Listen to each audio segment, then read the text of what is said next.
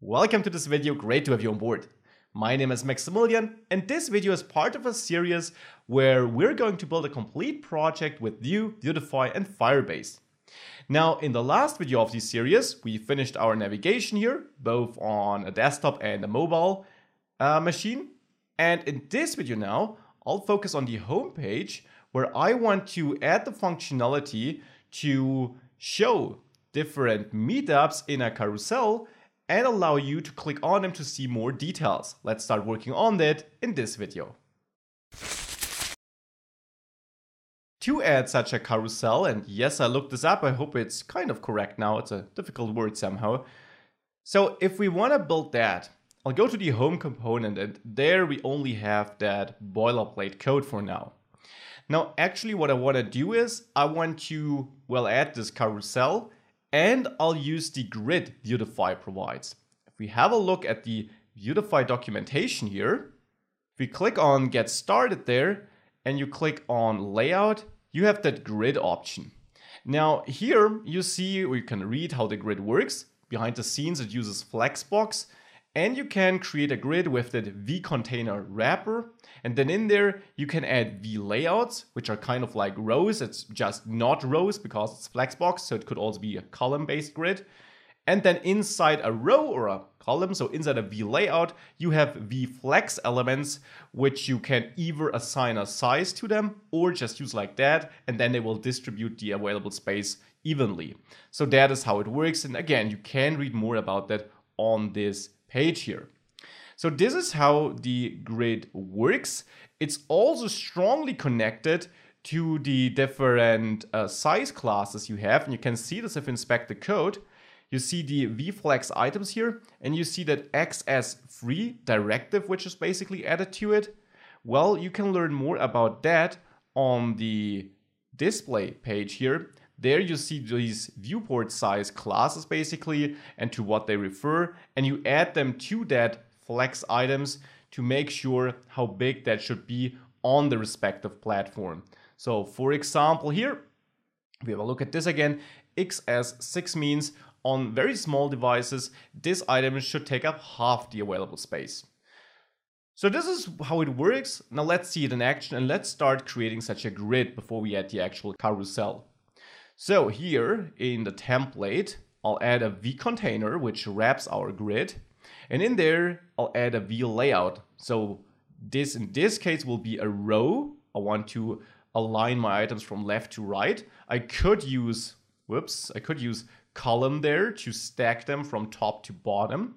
But I'll use a row and I'll add wrap so that they actually jump into a new row if the uh, width on the screen doesn't suffice uh, to, well, have them next to each other. So that is uh, the, the layout I want to use. And in there, I now want to have flex items. Now on that starting page, I actually not only want to have the carousel, but also buttons which allow me to organize a new meetup or view all meetups. Basically the same we already have in the navigation, but like kind of call to action buttons. So here I'll therefore add a vflex item. And to that I'll add XS12 to have it span the full width on small devices, but then SM6 or on very small devices and then SM6 to have it span only half the width on well small but not very small devices. And on higher devices or on broader devices it will also take this setup then. So with that, in this flex element here, I'll add a button with we button, you know that, and I'll say explore meetups here. Now I want this button to be large, and large simply is a helper directive you can use on buttons. More, as always, in the official documentation. There, if you scroll down, you can see these large buttons here under sizing. So I want to have a large button here. And besides being large, this button should also use the router and navigate to slash meetups because I just want to go to the page with all meetups. Next to it, I'll add another flex item with another button. Here, I want to say organize meetup and go to meetup slash new. Let's have a look at how this looks. If we go to our application, these are the buttons. not super impressive, I'd say. We can certainly enhance them from a color perspective. We learned how we can easily do that. We can add CSS classes to them and simply add primary as a class to turn them red. Now, this looks much better in my opinion. This looks like real buttons we can actually see and work with. Now, you could of course also choose a different color from your theme though. We always used primary thus far. You could also use secondary, accent, or info. Why don't we use info here? So let's switch primary to info, and now it should turn blue, just like that. These are the buttons, and as you can see, if I click on them, I am taken there, so that works. I also want to put them into the middle, so I want to center them. So on the uh, flex item of each element here, I actually want to set a specific class, a helper class Vuetify provides, and that's the text size. So here SM for small or higher or broader devices, right class. This can be found under the documentation, under layout, alignment. Here you can find these alignment helper classes, which allow you to align text. With that, it basically sends this button all the way to the right in its column, so in its flex item. And if I do the same for the second one here, text SM left in this case, now both are much closer centered in the page. On small devices, this is going to look awful though. So here we can easily fix it by adding another helper class, text XS for small devices, center. Now with that, it's centered on small devices and on bigger devices, we have them nicely centered in the middle. So these are the buttons I want to add, but you're probably here for the carousel, right? So let's add that. For that, let's have a look at the components. Maybe Vuetify has one. Oh, turns out it does. So here we can easily and quickly add one by just picking the one Vuetify ships with. Like this one. Really cute, one the our picture here. So we can just pick that one and that isn't much code for a carousel, right? I bet you expected more. So let's copy that code here actually. And let's add it by adding a new layout, a new row, which also should wrap eventually, even though that shouldn't be required here. Let's add a vflex element, XS12 in all cases, it should always span the full width. And inside of there, I'll now add this carousel code I copied. So we have the v carousel, carousel, carousel, carousel, carousel. So we have that item added. And then here we have a carousel item where we basically assign a source of all the elements we want to have. So here we loop through some items that doesn't exist yet.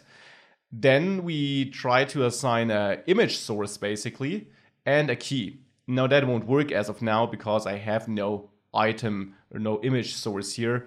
Uh, I'll change this soon though. So that is the, the layout I want to use.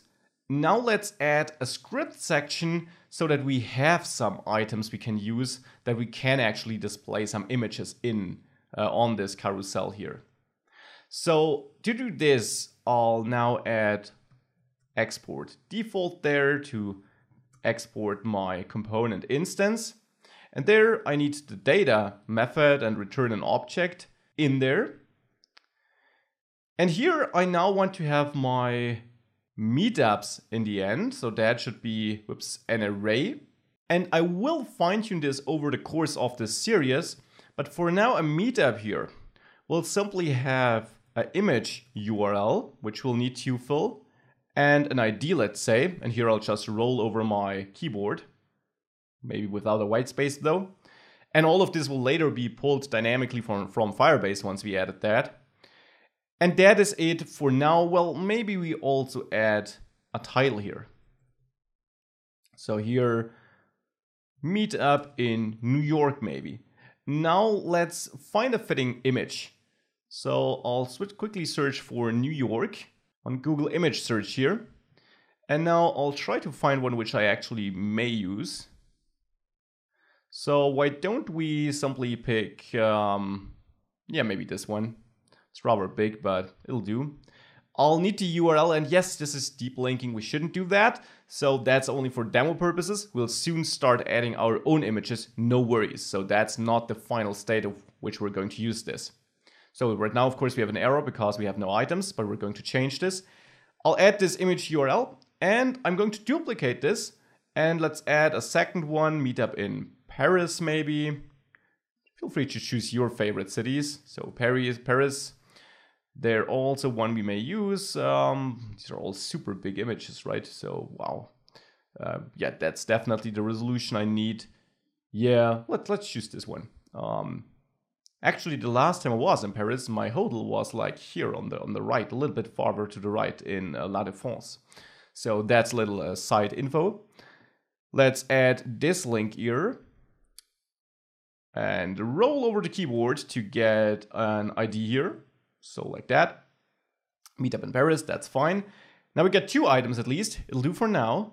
Here I can now loop through my meetups to get the individual meetup. And with that syntax here, we're also extracting the current uh, index of the iteration. I won't need that though, because we only use it to assign a key. And I do have a better key, the ID of each meetup.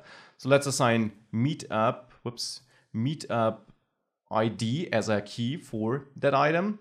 And the source we want to bind here, no need to use vbind here, uh, will actually be my meetup, oops, meetup image URL like that. So now we have a carousel, a carousel item. If we reload the app here, that looks better. Now you can see we can cycle through that. Of course, takes a few seconds at the beginning to load these images, but once they're there, this works nice. Now I also want to display a title and for that I'll actually wrap something in that carousel item. I'll wrap a div which I'll assign of a class uh, title. This is no Vuetify class, I'll actually style it myself. And here I want to output the meetup title so that we got an idea about what we're seeing on this image. And then I'll add some styling here at the bottom and I'll add scoped to the style to make sure the styles I write here only apply to this component. And here, I then want to add my title property. And there, I'll now add a position absolute. Turns out the carousel gives us a relative position, which we can nicely nest this. From the bottom, I want to, well, maybe set this 50 pixels. This is no um, random uh, number though. It actually is the size of that bottom uh, bar here. Meetup in New York, you can already see the text which was repositioned. However, hard to read, so let's fix this. Let's now also add a background uh, color, background color to that. And here I wanna, yeah, no, I broke it, so let me comment this out. I wanna use the same background color this carousel here by default uses. So if I inspect this here, I can just copy that color code here. So it's a very simple one, obviously, but that's what I want to use as a background color here to have the same style for my text. So I'm basically fine tuning this component to my need now, which you can of course do as you see. So Vuetify is not a use it and that's it um, library. You can fine tune it. So here background color, give the text a color of white then so that we can actually see it and maybe ramp up the font size to 2em. And let's see how does that look like if we now reload this page. Meetup in New York looks better, but I think some padding wouldn't hurt, like 30 pixels maybe. Yeah, a little bit too much, maybe maybe 20. Now that looks better. Now we get this title here too, and I like how this looks like. Now what I want to do is I want to add some spacing between the buttons here at the top and the carousel, and I want to add a text between the uh, below the carousel. Regarding the spacing, we again can fall back to a little helper we can find on the Vuetify documentation under spacing. Here are some helper classes we can use to apply some margin or padding to our elements. Basically, we combine M or P, depending on whether we want to use M, uh, margin or padding, with the direction where it should be, and the size. And then this looks like the following. We go to our code, and if we want to have a margin below this layout here, below the first row, we'll add a class, and that's MB, and then 2 for example, depending on how big of a gap it should be. You can see the size classes here, 0 to 5. MB is one word, no dash in between. And with that, we added a little bit more spacing. Now I'll copy that layout here and actually add it below this layout. And of course, the alternative, just to highlight this, would be to add a class here, MT2, so margin to the top. And I'll copy that to the layout I just added at the bottom here. Here, I don't want to have the buttons, but in my vflex element, I want to have a paragraph.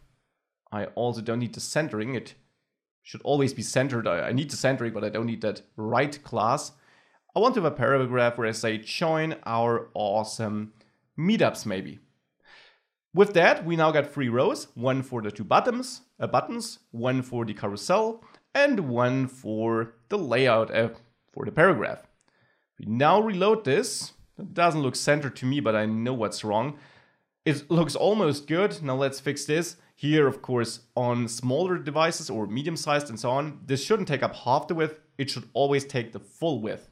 Now with that, if we save it and we go back and reload this to fetch the images again, now this looks much better. Later, by the way, we'll also add a spinner to show something whilst we are loading the content, once we did put our content on Firebase. For now, this is how this page should look like. I think great progress was made in this video. I hope you enjoyed it. See you in the next videos. Bye.